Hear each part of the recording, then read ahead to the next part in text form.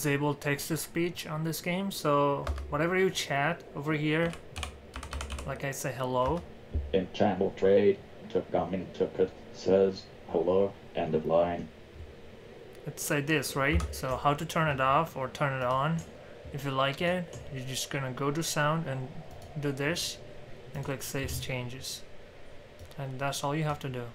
You can change to, for example, female or male. I'm gonna show how it's female sounds like. Thanks. In channel trade, to to says thanks, end of line. So yeah, just go to sound and turn this text to speech. So yeah, let me know in the comment what you guys think about this video. Again, if this will help you, please subscribe. That will be much appreciated. Thanks for watching and have a nice day.